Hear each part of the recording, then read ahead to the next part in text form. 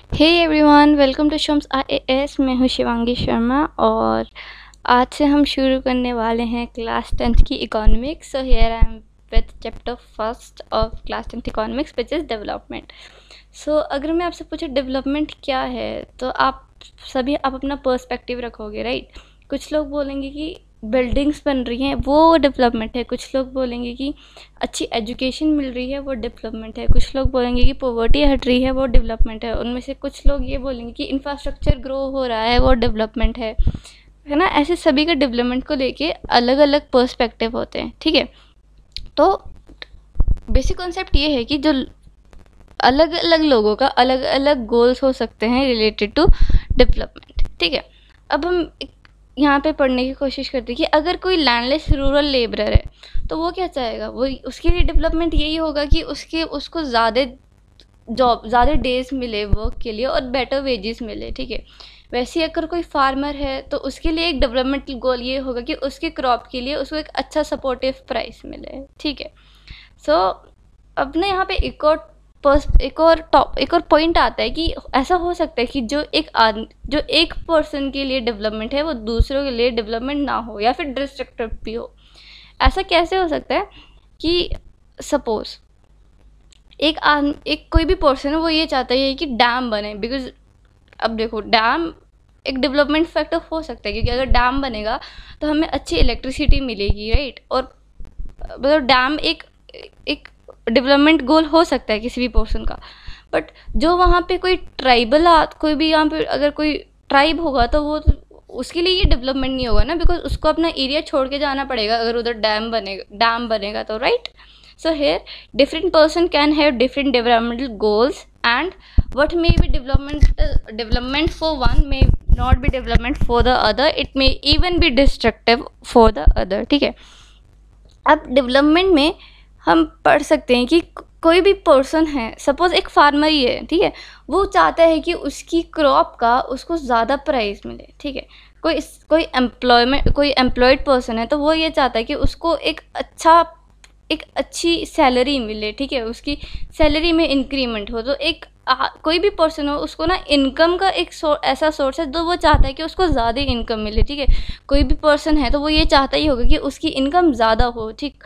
But ऐसा अब income ऐसा तो है नहीं कि एक कि मनी सब कुछ है डेवलपमेंट के लिए, ठीक है?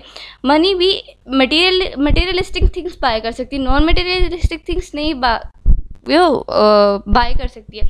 इसलिए इकोनॉमिक में इनकम एंड अदर गोल्स कुछ ऐसे गोल्स भी है जिनको मनी के अलावा जो डेवलपमेंट में एक बड़ा फैक्टर है, ठीक है? एक इंपॉर्टेंट रोल प्ले करती है। मटेरियलिस्टिक थिंग्स है, ठीक है, वो आप मनी से बाय कर सकते हैं बट कुछ नॉन मटेरियलिस्टिक थिंग है, जैसे फ्रेंडशिप है, अगर आप फ्रेंडशिप को मनी से नहीं खरीद सकते राइट रिस्पेक्ट है, अब अगर रिस्पेक्ट है तो रिस्पेक्ट भी आप नहीं खरीद सकते अगर कोई भी पर्सन है, वो किसी भी जॉब में काम कर रहा है तो वो तो ये चाहता ही है ना कि उसको रिस्पेक्ट मिले राइट वो तो ये चाहता ही है कि उसके जो उसके जो फेलो एम्प्लॉयज़ है, वो उनके साथ उसकी फ्रेंडशिप हो। कुछ और भी हो सकता है राइट और भी ऐसे पर्सपेक्टिव हो सकते हैं। तो अगर डेवलपमेंट में देखना है तो एक डेवलपमेंट सिर्फ़ सिर्फ़ मनी या इनकम पे ही नहीं बेस्ड होता, वो मिक्स ऑफ़ गोल्स होता है, ठीक है? काफ़ी सारी चीज़ें होती हैं उसके अंडर ठीक? तो अब उसके ये बोलता है कि डेवलपमेंट गोल्स किसी भी पीपल के लिए इनकम के अलावा अदर इम्पोर्टेंट फैक्टर भी हो सकते हैं, ठीक है? So national development national development क्या होता है? जब हर किसी भी कंट किसी भी कंट्री का हर एक पर्सन ठीक है? किसी भी कंट्री का हर एक पर्सन का लिविंग ऑफ़ स्टैंडर्ड इंक्रीज होता है, ठीक है? Sorry standard of living increase होता है। कोई भी कोई भी पर्सन है, वो किस तरह से रहता है? उसकी क्या वो, उसके पास वो पॉवर्टी लाइन से अबव है, उसका स्टैंडर्ड ऑफ़ लिविंग कैसा है, वो नेशनल डेवलपमेंट के अंदर आता है।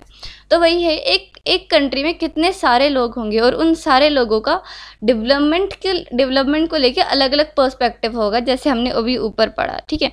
तो जब डिफरेंट इतने सारे लोग हैं, उनका अलग अलग उनका अलग अलग वो होगा, ठीक है? कंट्रीज़ कंट्री के डेवलपमेंट में लेके, जिसकी वजह से कन्फ्लिक्ट भी हो सकते हैं, ठीक? ये नॉर्मल है कि अगर आप किसी, अगर आप साथ में रह रहे हैं और आपके पास, आपकी वो आपकी थॉट्स मैच नहीं करते तो कन्फ्लिक्ट हो सकते हैं, ठीक।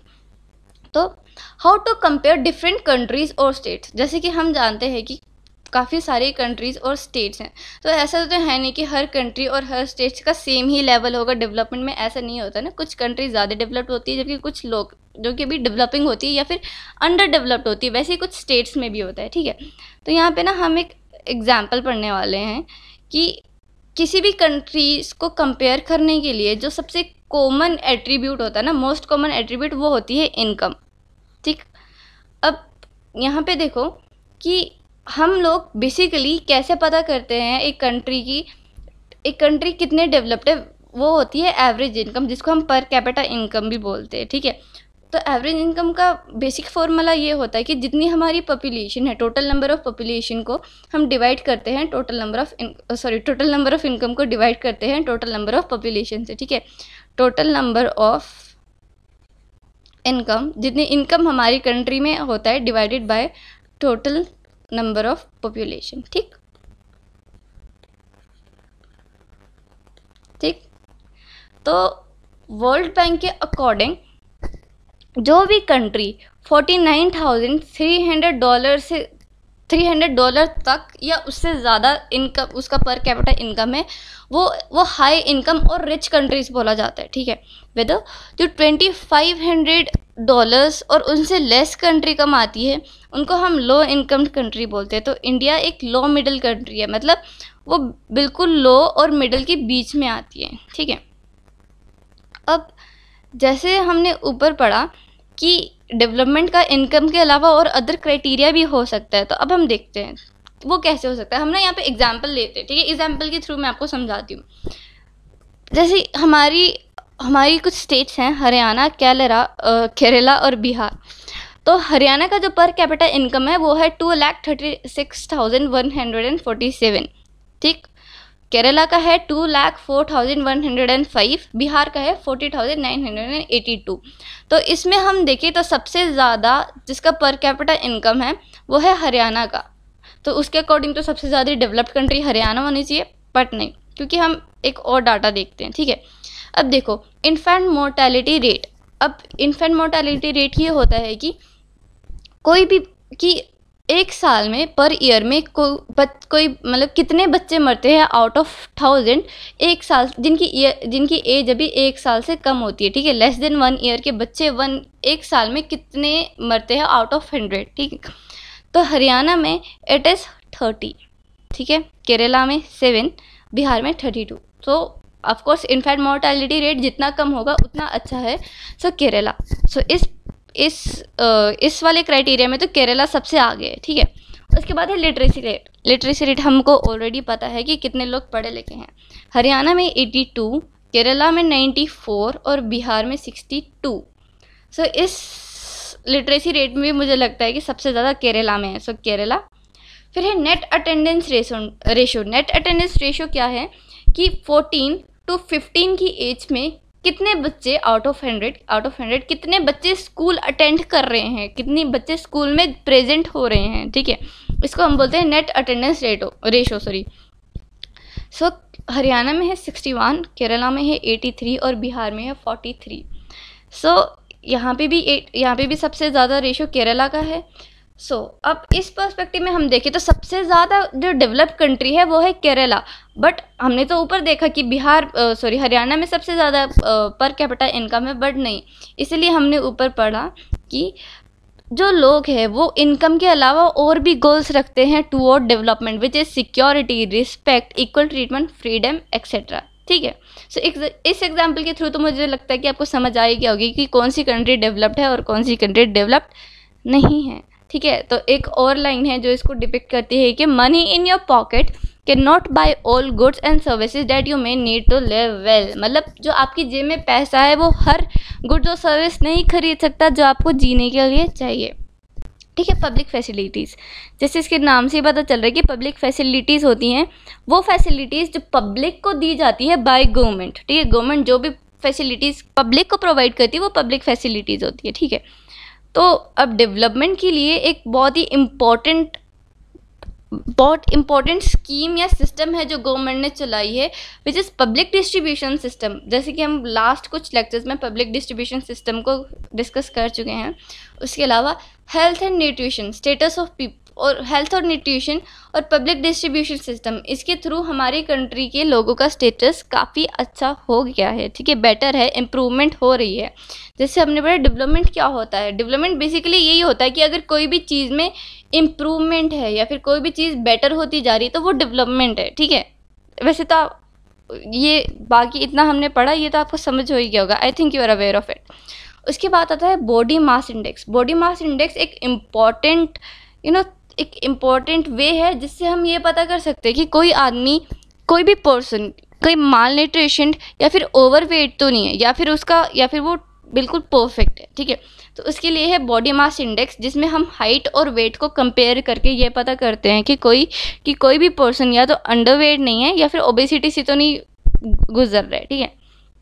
उसके बाद है human development report human development report एक ऐसा रिपोर्ट है जो हर हर जो इंटरनेशनल लेवल में रिलीज़ होती है, जिसमें इनकम के अलावा हेल्थ और एजुकेशन को लेके ह्यूमन डेवलपमेंट रिपोर्ट बनाई जाती है, ठीक है? जिसमें हेल्थ और एजुकेशन को भी एक मेन पर्सपेक्टिव लिया जाता है, ठीक? तो इसमें हम देखें तो जो हमारा एच डी आई रैंक है इंडिया का, वो है one thirty which is not very good come on ठीक है? Which is not very good हमारा रैंक हंड्रेड से भी नीचे है। इसका मतलब हमारा कंट्री अभी डेवलप्ड नहीं है। ये तो हम लोगों को पता है डेवलपिंग कंट्री है इंडिया बट स्टिल आप देखो, हमारी life expectancy at birth is ninety sixty nine point seven ठीक है? G gross national income is six thousand six hundred and eighty one dollar ठीक? Per capita income mean year of schooling of people age twenty five and above six point five तो देखो only one thirty वो बहुत ही कम rank है। Even Sri Lanka का rank है सेवेंटी थ्री अदर, और हम आगे देखें तो म्यांमार म्यांमार का रैंक है one hundred and forty eight Pakistan Pakistan का रैंक है one forty five sorry one fifty four Nepal का वन फोर्टी थ्री और बांग्लादेश का वन थर्टी फोर ठीक है, ये सब कुछ कौन बताता है? ये बताता है H D R which is human development report ठीक? इसके बाद है सस्टेनेबिलिटी ऑफ़ डेवलपमेंट अब देखो, हम डेवलप हो रहे हैं। अब डेवलप होने के लिए ना हमें काफ़ी सारी चीज़ों की ज़रूरत है। जैसे सपोज़ डेवलपमेंट ऐसे ही तो नहीं हो जाएगा। अगर सपोज़ हम इंफ्रास्ट्रक्चर ही ग्रो कर रहे हैं तो उसके लिए हमें कितने रॉ मटेरियल की ज़रूरत होगी, ठीक? तो हम जो भी रॉ मटेरियल यूज़ कर रहे हैं सपोज़ जैसे ग्राउंड वाटर है। ग्राउंड वाटर में ना एक मैसिव डिक्रीमेंट देखने को मिल रही है कि ग्राउंड वाटर में ना धीरे धीरे धीरे धीरे कमी कमी हो रही है। तो ऐसा ना हो कि हम डेवलपमेंट के चक्कर में हमारी फ्यूचर जनरेशन के लिए कुछ रखे ही ना। हम जो भी डेवलपमेंट कर रहे हैं, वो सस्टेनेबल नहीं है। जैसे क्रूड ऑयल में भी देखा जा रहा है कि क्रूड ऑयल जैसे क्रूड ऑयल में बहुत मतलब हम अर्थ से एक्सट्रैक्ट करते हैं और ये एक नॉन रिन्यूएबल रिसोर्स है, ठीक है? जिस हिसाब से हम क्रूड ऑयल यूज़ कर रहे हैं, उस हिसाब से बहुत मैसिव चांस है कि आने वाले कुछ सालों में क्रूड ऑयल ख़त्म हो जाए हमारे रिज़र्व से, ठीक है? तो ये भी एक बहुत ही इंपॉर्टेंट पॉइंट है कि हम अपने डेवलपमेंट में ऐसा ना करें कि फ्यूचर जनरेशन के लिए कुछ रहे ना, हमें सस्टेनेबल डेवलपमेंट करना है। Sustainable development in the sense कि हम इस तरह से अपने रिसोर्स को यूज़ करें कि आज कि आज के लिए हमारी सेटिस्फेक्शन फुलफ़िल हो जाए और ऐसे ही कि फ्यूचर जनरेशन के लिए भी कुछ हम फ्यूचर जनरेशन के लिए भी सेटिस्फाइड अमाउंट बचा के रख सकें। ऐसा ना हो कि हम अपनी सेटिस्फेक्शन के लिए फ्यूचर जनरेशन के लिए कुछ रखें ही ना। ठीक? ये आता है सस्टेनेबल रिसोर्स सो इसी के साथ हमारा चैप्टर यहाँ पे ख़त्म होता है। So thank you thank you very much